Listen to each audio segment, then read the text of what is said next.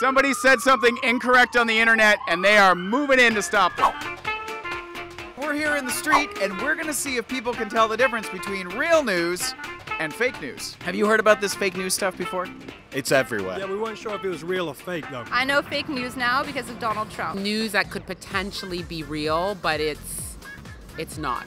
So you have to research it. Real news or fake news? Did Donald Trump say this to People magazine in 1998? If I were to run, I'd run as a Republican. They're the dumbest group of voters in the country. They believe anything on Fox News. I could lie and they'd still eat it up. I bet my numbers would be terrific. He said that. He said that. That is true. I know that for a fact. I think it's real. It's real. Have you seen that somewhere? Yeah, it's sadly real. I think it's definitely fake. I think Donald Trump, he, he probably wouldn't say that. Because he, he's, a, he's, a, he's a business guy and he's not going to insult millions of people for no reason. I'm getting, ser- I'm getting serious. Where do you think you saw it? I think Barbara Walters or something. I want to say yes. I feel like he would say something like that. Well, that's why it is such an effective piece of fake news. That is fake news. We're blowing minds here on the street. So that is fake news, guys. But it's a totally made up quote, and it was put together in a nice meme that people thought was real, and it spread all over the place. I have seen that meme many a time, and I was like, that sounds like something he would say. I think that burrito has like superhuman powers in it. Packed with omega 3 for the diet that works for you and me.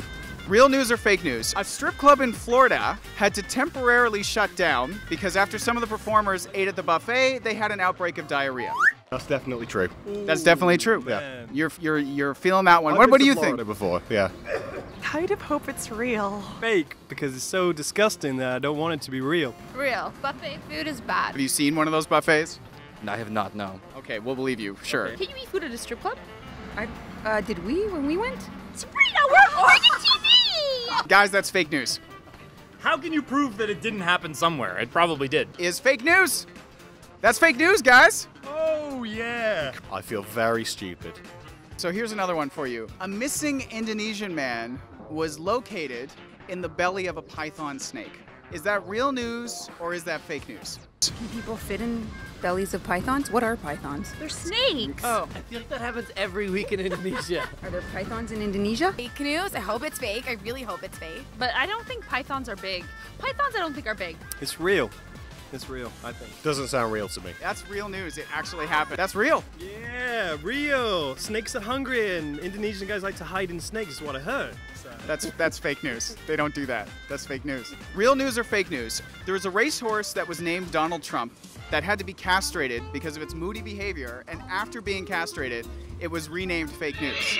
Is that real news or fake news? This is gonna be trumped. Kind of want it to be real just because it got castrated. Sounds pretty crazy. It sounds sounds stupid enough to be true. Well, that's whole layers of complexity. too much work. I gotta go. I gotta go fake Yes, on that one. fake. Yeah, uh, You don't go fake. rename a horse. Fake.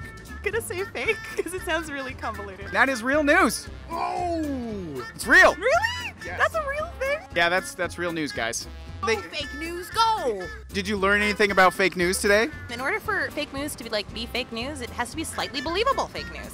Because I believed some of those things because they seem believable. You just went 5 and 0 and you're just staying humble. Yeah, I'm seriously humble. I'm one of the most humble guys you'll ever meet. Don't believe everything you he- hear or read on the internet. I'll believe anything.